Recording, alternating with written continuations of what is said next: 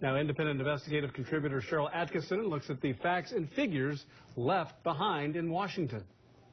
A system that a decade ago handled just 6,000 illegal immigrant minors a year has been flooded with more than 57,000 since last October, most from Central America.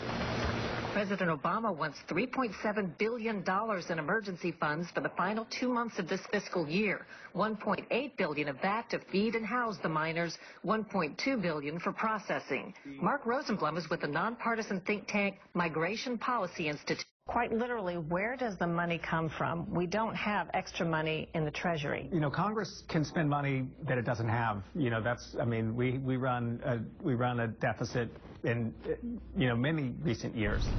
But Congress isn't even close to agreeing on how much extra money to provide.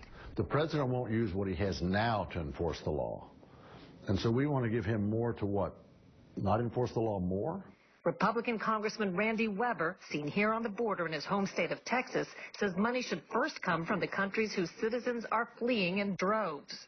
We're going to stop your foreign aid, and you're going to pay for that until you start helping us stem the tide. Is your remedy no extra money? The president has got the wherewithal, the authority, and has had the money to, to secure the border from day one. He refuses to do so. The Democrat-led Senate proposed $2.7 billion to cover the last two months of this fiscal year. The Republican-led House, 694 million. Democrats would give Health and Human Services 1.2 billion more for housing and humanitarian assistance. Republicans, 197 million.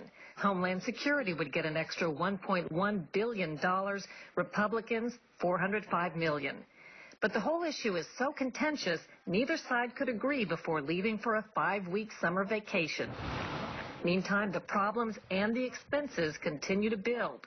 Rosenblum says they're manageable. The United States, in terms of our population and in terms of our GDP, we can handle um, taking care of these 50,000 kids if, if, you know, if that's what our hearts tell us to do. You grow a government bureaucracy, and you've got a larger criminal justice system, more um, immigration lawyers, more immigration judges, more immigration courthouses, and a bigger system. Is it ever going to shrink back? There's the 60 question. The White House already announced $380 million in June for programs to help Guatemala, Honduras, and El Salvador, where most of the minors are said to be fleeing poverty and violence.